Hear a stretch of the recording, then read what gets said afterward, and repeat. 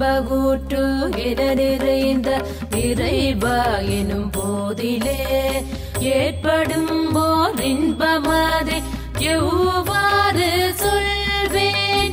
இன்ப என நிறைந்த இறைவா எனும் போதிலே ஏற்படும் போர் இன்ப